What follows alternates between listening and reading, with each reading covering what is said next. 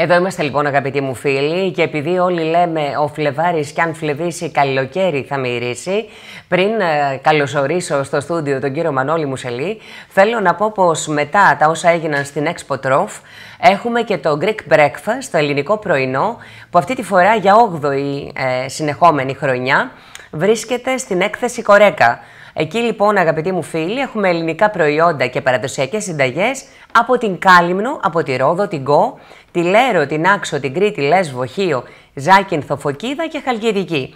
Και σας λέω ειδικά ότι η Παρασκευή, Σάββατο και Κυριακή έχει το πρόγραμμα Γλυκές και αλμυρές τηγανίτες και λουκουμάδες, τι λέω τώρα μεσημέρι, άνοιγμα παραδοσιακού φύλου με διάφορες γεμίσεις, Παρασκευές όμως παράλληλα αυγών με τοπικά τυριά και αλλαντικά. Σε όλους ευχόμαστε καλή επιτυχία και τους περιμένουμε να επιστρέψουν για να μας πούν λεπτομέρειες για όλα αυτά που έζησαν, αν και ήδη βλέπουμε εικόνες από τα όσα προηγήθηκαν.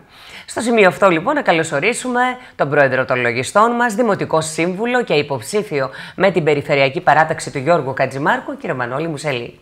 Καλώς ήρθατε, κύριε Μουσελή. Καλώς σας βρήκα. Καλώς μέρε σε εσάς και στους τηλεδιατές που παρακολουθούν. Χαιρόμαστε πολύ που είσαστε μαζί μας, γιατί εμάς δεν μας αρκεί μόνο να βρεθούμε κάπου και να έχουμε μία απλή δήλωσή σας για το όποιο γεγονός ή συμβάν. Πρέπει να είμαστε εδώ για να δούμε θέματα φορολογικά, οικονομικά, κτηματολογίου, κοινωνικά, πολιτικά και αυτό θα πράξουμε σήμερα. Ξεκινώντας βέβαια με αυτό που είναι πολύ κοντά και είναι ένα φορολογικό σεμινάριο που έχουμε και πάλι, έτσι.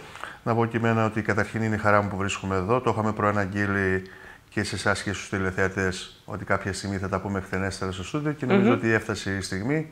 Ωραία. Ε, να αναγγείλουμε και επίσημα έτσι να πούμε στον κόσμο ότι το Σαββατοκύριακο, η Παρασκευή και το Σάββατο που μας έρχεται πραγματοποιούμε το ετήσιο διήμερο φορολογικό σεμινάριο Φορολογικό Πανόραμα 2019. Ε, οι συγητές μας είναι η συνήθιση ύποπτη ο Γιώργος Σοκορομιλάς, που επί 16 συναπτά έτη προσφέρει τις υπηρεσίες του στο Σύλλογο της Επαρχίας μας και ο Νίκος ο Φραγκεδάκης. Νομίζω ότι είναι κάτι που το ζητούν οι συνάδελφοι και βέβαια να πούμε ότι η είσοδος είναι ελεύθερη για όποιον ενδιαφέρεται να παρακολουθήσει ε, κάποια θέματα κυρίως φορολογικού ενδιαφέροντος. Μην ξεχνάμε άλλωστε, βρισκόμαστε ήδη στον Φλεβάρι.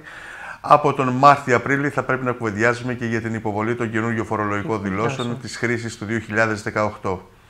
Αυτός είναι άλλωστε και ο λόγος που κάθε χρόνο, Φεβρουάριο, γίνεται και το σεμινάριο. Ναι. Που φέτος θα έχει, νομίζω, και την διαφορετικότητα των χωριστών φορολογικών δηλώσεων για κάποια ζευγάρια που ίσως επιβάλλεται έτσι, ίσως το επιθυμούν. Ναι, να πούμε ότι αυτό προέκυψε από μια διαταγή που, μια απόφαση μάλλον του Συμβουλίου της Επικρατείας πέρσι το Γενάρη. Φυσικά το Υπουργείο Οικονομικών δεν ήταν έτοιμο στις περσινές φορολογικές δηλώσεις να προβεί σε κάτι τέτοιο, όμως τώρα το έχει πραγματοποιήσει. Θα πρέπει όμως να γνωρίζουν οι τηλεθεατές μας, όσοι επιθυμούν να υποβάλουν χωριστές φορολογικές δηλώσεις, ναι. θα πρέπει μέχρι τις 28 Δευτέρου να υποβάλουν ηλεκτρονικό αίτημα. Α, ότι θέλουν να το πράξουν θέλουν αυτό. να υποβάλουν για να μπορούν να διαχωριστούν οι δηλώσεις. Άρα, όσο το επαναλαμβάνουμε, μέχρι 28 Δευτέρου γίνεται ηλεκτρονικά το άτομα με τους κωδικούς του τάξης τους, στην ιστοσελίδα του τάξης, υποβάλλουν έτοιμα διαχωρισμού των φορολογικών δηλώσεων. Πάμε όμως να δούμε τα ωφέλη ή μη από αυτές τις καταστάσεις. Ε... Γιατί σίγουρα ε, ξέρουμε από διάφορους φίλους κτλ. ότι ναι, υπήρξαν και κάποια ζητήματα τα οποία μια κοινή φορολογική δήλωση άλλαζε το τοπίο. Για πάμε να δούμε λοιπόν τι μπορεί να προκύψει. Κοιτάξτε να δείτε, ε, το ότι κάποιοι επιθυμούν να κάνουν χώρια φορολογική δήλωση ε, θα πρέπει να το συζητήσουν πρώτα με τον φοροτεχνικό τους. Ναι. Δεν είναι απλό ζήτημα. Υπάρχουν ζητήματα τα οποία είναι ανοιχτά και σε εξέλιξη και θα πρέπει να δώσει σαφέστατη απάντηση η διοίκηση, όπως το τι θα γίνουν τα παιδιά από μία πρώτη καταγραφή, μία πρώτη άποψη της διοίκησης θα τα καταχωρούν, θα, θα τα συμπεριλαμβάνουν στη φορολογική τους δήλωση και οι δύο, και ο ναι, πατέρας ναι. και η μητέρα. Ε, δεν ξέρω πώς μπορεί να λειτουργήσει αυτό. Το σημαντικότερο όμως θέμα που θα πρέπει να δει κάποιος φοροτεχνικός για να συνενέσει στο διαχωρισμό των φορολογικών δηλώσεων είναι η κάλυψη των τεκμηρίων. Είναι σημαντικό πράγμα αυτό. Επειδή μέχρι τώρα η κάλυψη γινόταν από τα οικογενειακά εισοδήματα, θα πρέπει να δούμε τώρα, διασπάζοντας τις φορολογικές δηλώσεις, αν δημιουργείται κάποιο φορολογικό πρόβλημα ε, σε κάποιους. Να πούμε ότι ε, διαχωρισμός των δηλώσεων είναι η διαταγή του Συμβουλίου της Επικρατείας και η ακόλουθη απόφαση του Υπουργείου Οικονομικών να εναρμονιστεί με την ε, απόφαση του δικαστηρίου, ε, συμπεριλάβανε κάποιες κραυγαλαίες Ξεκίνησε από κάποιες κραυγαλαίες περιπτώσεις. Όπως παραδείγματος χάρη να πούμε ότι υπάρχουν ο ένας εκ των δύο του, του ζευγαριού είναι φορολογούμενος με επιχείρηση η οποία ενδεχομένως να έχει κάποιες οφειλές στην εφορία. Εκεί πλέον δημιουργούσε πρόβλημα παραδείγματος χάρη στη λήψη από το έτερο μέλος του ζεύγους. Και προκειμένου να μην δημιουργούνται αυτά τα προβλήματα, κάποιοι ήθελαν να υποβάλουν χωριστές φορολογικές δηλώσεις. Και αν ο άλλος ε, δικαιούται να, να πάρει και επιστροφή. Τις περισσότερες. Ναι, δεν θα την έπαιρνε, έτσι. Τις περισσότερες φορές δεν είναι καλό ναι. να διασπώνται οι φορολογικές δηλώσεις. Α, μάλιστα. Έτσι, να το ξεκαθαρίσουμε. Από την εμπειρία σας, μας λέτε ότι έτσι. Τις περισσότερες φορές δεν είναι καλό να διασπώνται οι φορολογικές δηλώσεις. Ε, υπάρχουν οι νόμοι οι οποίοι είναι σταθεροί εδώ και χρόνια και δημιουργούν τις προϋποθέσεις για να έχουν ένα καλύτερο αποτέλεσμα το ζευγάρι. Ε, μόνο σε, σε ειδικές περιπτώσεις και σε αυτές θα πρέπει να συνενέσει ο φοροτεχνικός ε, του ζευγαριού. Άρα όσοι σκέπτονται να διαχωρίσουν τις φορολογικές δηλώσεις, μία επίσκεψη στον συνάδελφο φοροτεχνικό να το κουβεντιάσουν και αν τελικά να το αποφασίσουν, μέχρι 28 Δευτέρου να υποβάλουν το ηλεκτρονικό αίτημα. Άρα... Ούτως ώστε όταν θα ανοίξει το σύστημα του τάξης να δουν δύο ξεχωριστές φορολογικές και δηλώσεις. Και να είναι σίγουροι ότι είναι προς όφελός τους, έτσι, είναι κάτι Πρωτίστως, το οποίο... έτσι, για να μην θετικό. έχουμε εκπλήξεις μετά στα καθαριστικά. Ναι, ναι, γιατί για κάποιους μπορεί είναι να σημαντικό. Ακούγεται αλλά να ακούσουν από τα επίσημα Η εμπειρία η δική μου λέει ότι δεν χρειάζεται να πάμε σε χωριστές φορολογικές δηλώσεις, εκτός αν υπάρχουν εξειδικευμένα σε ε, θέματα. Ναι. Ανάμεσα στο ζευγάρι. Όμως πάμε να δούμε και στην γενικότερη μορφή των φετινών μας φορολογικών δηλώσεων, κύριε Πρόεδρε. Έχουμε κάποιες αλλαγές, έχουμε έτσι θέματα τα οποία θα πρέπει καμία, να προσέξουμε; Καμία αλλαγή δεν καμία έχουμε. Αλλαγή. Θα πάμε με το αφορολόγητο το οποίο είχαμε και πέρσι τα 8.600 και ανάλογα με τα παιδιά θα υπάρχει και μια μικρή προσάυξηση. Αυτό είναι το σημαντικότερο για τους μισθωτούς συνταξιούχους. Για τους υπόλοιπους φορολογούμενους, τους επιχειρηματίες και τους ελεύθερους επαγγελματίες. Ε, να τονίσουμε και πάλι ότι δεν υπάρχει αφορολόγητο και η κλίμακα ναι. ξεκινάει από το 22% φορολογικό συντελεστή και 100% προκαταβολή για το επόμενο έτος.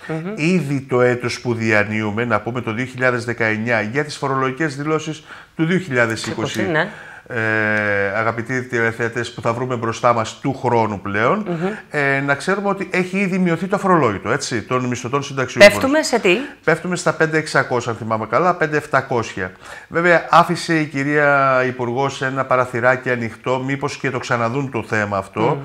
Γιατί με την αύξηση του κατώτατου μισθού που, έχουν, που έχουν ήδη προαναγγείλει και ισχύει από την 1η Δευτέρου του 2019, τα όποια ωφέλη από την αύξηση αυτή θα εξανεμιστούν από τη μείωση του εφορολογήτου που ήδη είναι ψηφισμένο και εδώ και, και τρία έτη. Μάλιστα. Λοιπόν, ε, εντάξει, έχουμε καιρό βέβαια για να τα δούμε όλα αυτά. Τι θα γίνει το συγκεκριμένο θέμα του αφορολογήτου. Αλλά αυτό βέβαια θα το αντιμετωπίσουμε το 2020. Για φέτος οι φορολογικές δηλώσεις του 2018 που θα υποβάλουμε την άνοιξη του 19 δεν θα έχουμε καμία ουσιαστική αλλαγή από ό,τι είχαμε και πέρσι. Πολύ ωραία. Βέβαια, στη ζωή μας είναι και το κτηματολόγιο, έτσι, που ήρθε να τρέξει κόσμο και να δούμε τι ακριβώς θα γίνει με το θέμα αυτό, γιατί και πιστεύω θα έρθει κάποια στιγμή επισήμως η παράταση που έχει ζητηθεί. Επιβάλλεται να έρθει η ε, ναι, παράταση. γιατί από τα ξημερώματα πάει ο κόσμος ε, εκεί. Τουλάχιστον, ακριβώς, ναι.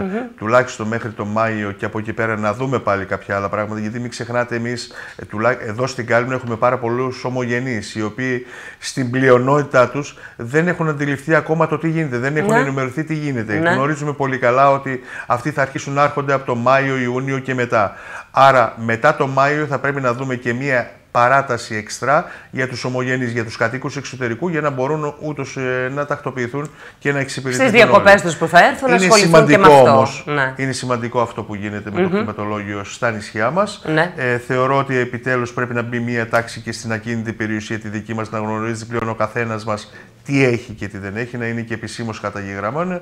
Γι' αυτό θα πρέπει όλοι μας να τρέξουμε σε αυτούς που ασχολούνται με το χρηματολόγιο για να δηλώσουμε ε, την ακίνητη περιουσία μας. Πάντως ε, υπάρχει και το φαινόμενο, ξέρετε, των ανθρώπων που είχαν τους λεγόμενους κάβους ψηλά στα βουνά, κύριε Μανώλη Μουσελή, mm τουλάχιστον εγώ με μια συγκεκριμένη οικογένεια, έτσι που μίλησα τις προάλλες και έθεσα το θέμα, που δεν ξέρω, μια όλη αυτή η ταραχή με το θέμα των δασικών χαρτών, μια το θέμα αυτό του κτηματολογίου, Βλέπω ότι κάποιοι εγκαταλείπουν τη βάρκα στο συγκεκριμένο θέμα. Ναι, υπάρχει εδώ πέρα ένα θέμα. Υπάρχει ένα Ναι. θέμα και το οποίο είναι μάλιστα τεράστιο και, και τουλάχιστον εδώ στην Κάλυμνο δεν το έχουμε ανοίξει- αγγίξει ακόμα όπως θα πρέπει να το αγγίξουμε. Ναι. Ε, ήδη έχουν γίνει προτάσεις προς τον Δήμαρχο να φέρει το θέμα στο Δημοτικό Συμβούλιο των Δασικών Χαρτών. Ο Περιφερειάρχης, ο Γιώργος Χατζημάρκος- Χατζημάρχος, με πρωτοβουλία δική του, έχει σηκώσει το θέμα, έχει κάνει επαφές και με δημάρχους της Έγινε η σύσκεψη περιφέρειας στην και με Αθήνα. σύσκεψη στην αθηνα με τον Υπουργό. Ε, έλαβε κάποιες υποσχέσεις ότι θα το ξαναδούν τα θέματα γιατί φαινόμενα όπως τη Σπάτμου όπου το 80% του νησιού έχει χαρακτηριστεί ως δασικό Και χορτολιβαδική και έκταση. χορτολιβαδική, αντιλαμβάνεστε ότι αν κάτι ανάλογο συμβεί και στην Κάλυμνο, τότε θα χαθούν περιουσίες πατρογονικές, τις οποίες προσέχαμε αιώνες και αιώνες ο- ε, όλοι μας. Άρα είναι σημαντικό να δούμε το θέμα και στο νησί μας και στην Κάλυμνο και στα γύρω νησιά, Λέρο και, και- Λέρο και Πάτμο, ε, σύμφωνα και με τις υποδείξεις του Περιφερειάρχη. Ο Περιφερειάρχης έχει στείλει επιστολές προς όλους τους δημάρχους Μάλιστα. να φέρουν το θέμα στο Δημοτικό Συμβούλιο. Ζητήθηκε και από τον δικό μας τον Δήμαρχο τον κύριο Γαλωσή. Ε, η επίσημη απάντηση δεν θα πρέπει να ενημερωθεί για το θέμα για να δούμε ε, και πώς θα εξελιχθεί και η συζήτηση μέσα στο Δημοτικό Συμβούλιο. Είμαστε εν αναμονή. Πάντως είναι ένα θέμα το οποίο θα πρέπει να παρακολουθούμε και θα πρέπει να εναρμονιστούμε και με τους αγώνες της περιφέρειας. Δεν γίνεται για κανέναν άλλο λόγο ο αγώνας που έχει ξεκινήσει ο Περιφερειάρχης γιατί έχει αντιληφθεί πλέον ότι αν πραγματοποιηθούν αυτά που καταγράφονται μέσα στον νόμο τότε τα πράγματα δεν θα είναι καλά για κανένα μας.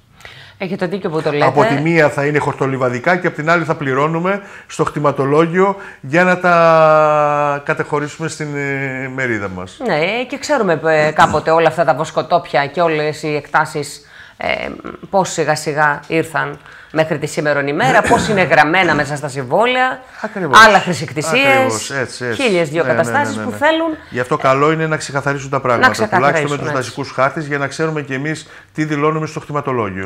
Όχι, είναι καλό που γίνεται έτσι, για να μπει μια τελική σφραγίδα σε όλα αυτά και να ξεκαθαρίσει το Σαφέστατα είναι τοπίο. καλό έτσι όταν δεν έχουμε καταγεγραμμένη περιουσία και ο ένας υφαρπάζει του αλλονού την περιουσία και δημιουργούνται χίλια δύο πράγματα στα δικαστήρια. Σαφέστατα είναι. Ναι, πάρα εδώ πολύ υπάρχει ένα καλό. θέμα τώρα που το, που το θυμίζετε Ναι. και με αυτό να κλείσουμε και το πρώτο μέρος. Δηλαδή, κάπου εκεί θα προκύψει ότι κάποιοι τύχοι που είχαν προχωρήσει Έτσι, πρέπει να ξαναπάνε πίσω.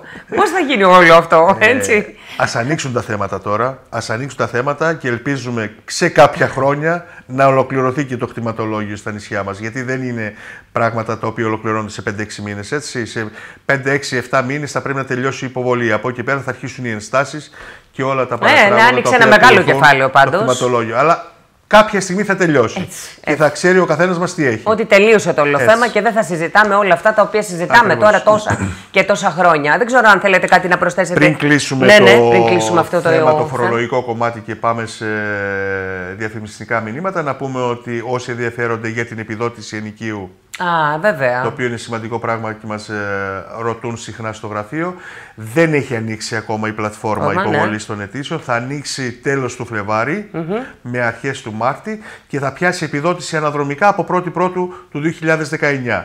Ε, να Άρα- πούμε λίγο εκεί τι παίζει και για κάποιους ναι. που τώρα θέλουν Είναι για με- πρώτη φορά να είναι μπουν. με βα- ε, να πούμε ότι έχει θεσμοθετηθεί επιδότηση ενοικίου για αυτούς που δεν έχουν δική τους κατοικία και μισθώνουν κατοικία.